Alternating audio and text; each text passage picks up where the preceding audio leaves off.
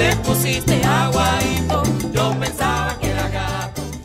A nosotros nos llama poderosamente la atención la reunión que hay hoy aquí en el Core 4, en donde llamaron una serie de familias que están en distintas ocupaciones, principalmente hacen una convocatoria para ver cómo articulan desde un espacio común distintas instituciones del Estado Mayor de la Vivienda por el Estado Lara. Aquí se está especificando eh, los planes y soluciones eh, con respecto a los consejos comunales, la, parte de seguridad y las au- autoridades, instituciones y entes gubernamentales del Estado que vienen correlacionados con, con respecto a las invasiones y bueno, para darle una solución y crear un instrumento jurídico para los consejos comunales, estas son propuestas. Aquí se creó un, se generó un documento, se generó un instrumento que es lo que significa el instrumento, que lo vamos a pasar por todos los consejos comunales, por todas las salas de batalla, aplicarle el documento donde el documento dice el nombre del consejo comunal, el nombre del profesor, el nombre del vocero, el municipio, la parroquia, los, los terrenos que están en el ámbito del consejo comunal. ¿Para qué? Para así identificar si el consejo comunal, como es el, el- el gobierno eh, regional, el gobierno ahí de esa parte del, del ámbito,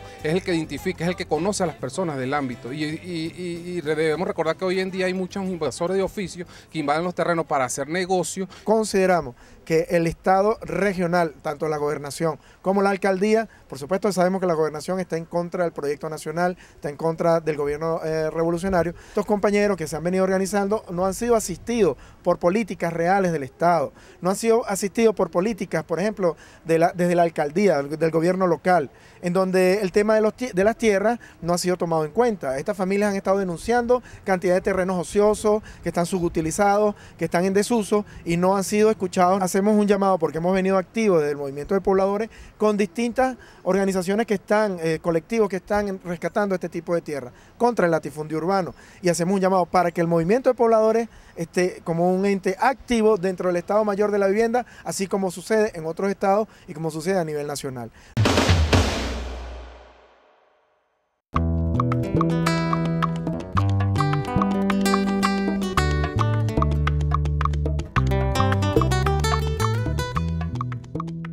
Estamos vaciando lo que es la, segunda losa ya de, las 10 casas que se nos fue aprobado por el... Esto salió por la misión vivienda, todas están saliendo por la misión vivienda, pero este trabajo se viene canalizando es por la comuna Taroba, ¿va? donde hacemos vida a todos los consejos comunales que estamos acá dentro de esta área. Fuimos beneficiados con 10 casas de 21, que es un proyecto que teníamos nosotros introducido ahí en la comuna. Se llevó a una asamblea de ciudadanos donde ellos mismos decidieron cuáles eran esas personas según por su necesidad. Todos tienen necesidad, pero en este caso las personas de que estaban más críticas al ranchito, la cuestión, Estamos trabajando aquí porque la comunidad nos eligió en una asamblea de ciudadanos y ciudadanas para ejecutar esta obra. Las empresas privadas eran las que hacían estos trabajos y le quedaban mayor recursos a ellos y no, y no a lo- a lo- al pueblo.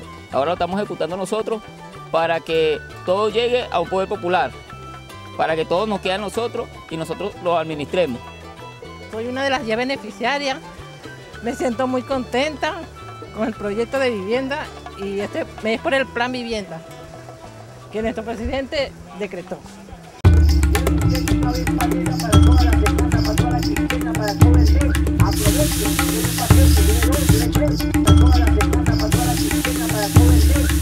sabia o seguinte, ele sabia.